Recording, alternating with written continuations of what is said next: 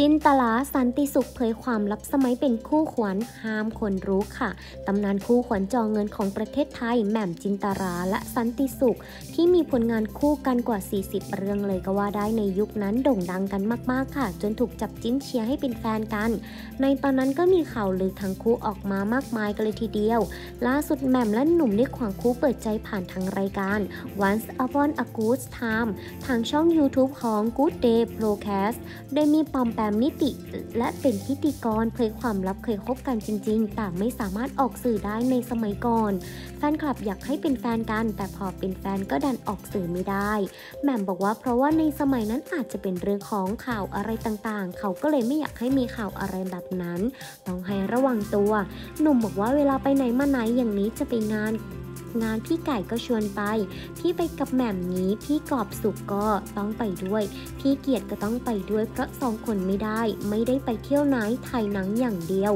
เราจะไม่ค่อยได้ออกงานไปนานๆค่ะ จะไปทานข้าวกันที เราก็ไม่เคยไปเที่ยวกันเอง ไม่มีเลยเพราะว่าเขานั้นไม่อยากให้มีภาพอะไรออกมานั่นเองค่ะ คนก็จะพูดเหมือนกันว่าเรานั้นพูดเหมือนเราปฏิเสธ แล้วก็มีภาพข่าวออกไปนู่นนี่นั่น เป็นสมัยนี้ไม่ได้เลยทุกคนก็มีมือถือถ่ายได้ แต่ว่าเราก็พยายามที่จะเก็บตัวอะไรอย่างนี้ หนุ่มบอกว่าบางครั้งคนก็คิดว่าอ้าวเป็นการโปรโมทหรือเปล่าเป็นแฟนกันจริงหรือไม่ โปรโมทนี่ว่าไม่รู้จะอธิบายยังไงดีค่ะ ซึ่งในตอนนั้นเป็นภาวะที่เราทำตัวลำบากไหมบอกเลยว่า ไม่ได้เป็นแต่ต้องแสดงให้คนรู้สึกนิดนิดว่ายังเชียร์อยู่แมมก็บอกว่าเราก็ไม่ได้แสดงเราก็เป็นไปตามปกติของเราเพียงแต่ว่า